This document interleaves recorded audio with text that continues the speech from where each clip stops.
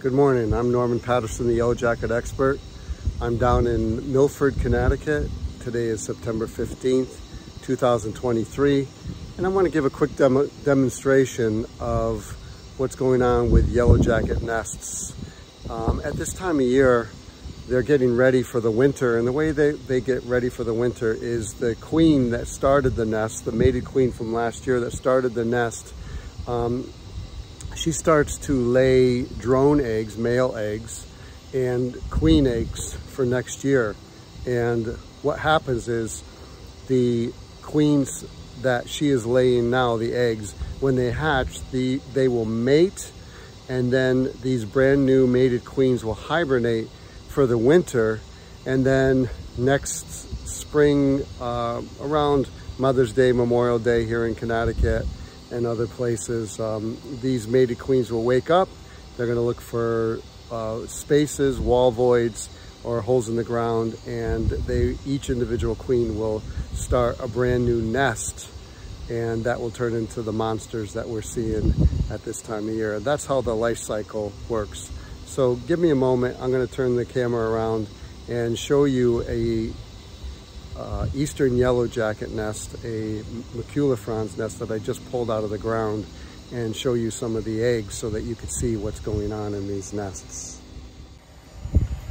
So I just pulled this eastern yellow jacket nest out of the ground and uh, paper bags so they can breathe. Let me show you what's going on. These are all queen cells. Um, they're bigger than the worker cells, which are more in the middle there. And you can see some of the drones on this nest. The drones have long antenna. That's how you know. I always look at them like they got uh, handlebar mustaches. Let's see, here's a worker. There's a, this, this is a worker right here. Let's see if I can, that's a worker right there. And this is a drone right here. You notice, it has much longer antennae. Here's a drone. Oh, he just hit away. So you can see on the pattern of this brood here, we have queen cells and male cells that are forming, or have already formed. I mean, this queen has already been laying males, um, the drones.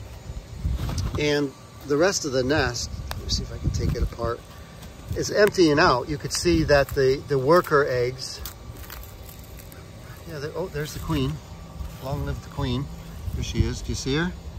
That's the queen of this whole nest. She started this right around Memorial Day, Mother's Day, and, um, got this whole thing rocking all by herself. And she's laying the, the queen eggs, which is these, for next year. And um, so all yellow jacket nests will die for the winter they do not come back. I mean, if they do, it's just, um, you know, fate, providence, or chance, depending on how you look at life. But, um, yeah, th there she is. So she's going to die. She's a mated queen. She's going to die.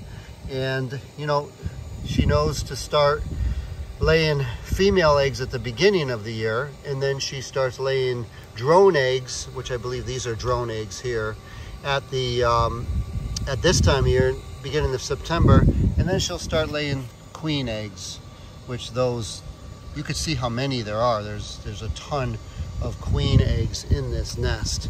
But all, you know, here's, here's there's still some worker larvae there. Um, just a little bit. Some are still hatching, but not much. The darker ones are, are ripe and they're gonna hatch any time now. But for the most part, they're emptying out. So that this nest, just like all the other nests, are um, finishing up. Yeah, there's much more males drones than um, than there were a couple weeks ago. I didn't see any drones, but now we are seeing tons of drones.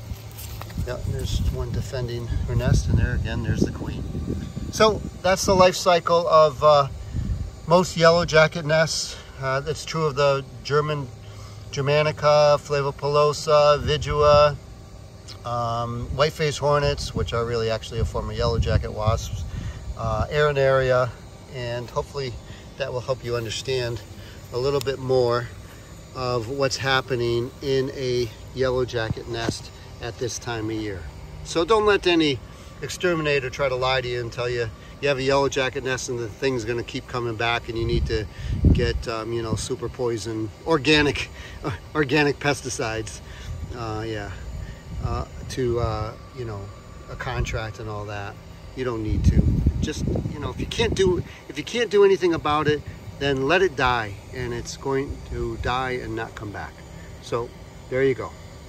If you need help in Connecticut um, you could call 860-379-6078 or you could go to my website at www.theyellowjacketexpert.com and uh, you know if you want a consultation I charge like 50 bucks.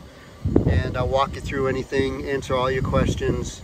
And um, you know and if you don't think that what I gave you was uh, valuable information everybody has then don't pay me. Um, but I will give you the information that you need to make an informed decision for your yellow jacket nest.